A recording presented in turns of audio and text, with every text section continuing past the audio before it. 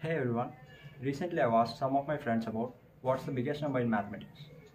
To which most of them replied infinity. But infinity is not the biggest number in mathematics because it's not a number at all. According to Wikipedia, this is the definition of a number. So, a number must have a specific value which can be counted, right? But no one can count infinity.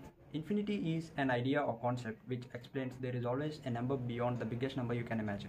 If you search on Google about what's the biggest number, you get results like Googol or Googolplex. But what about Googolplex plus 1 or plus 2 or plus the number itself or raised to the power itself? This kind of thinking leads to the concept of infinity which is countless. Also there are countless numbers in a number system which means there is no end to the number system. So the biggest number in mathematics doesn't exist. Thanks for watching. Peace.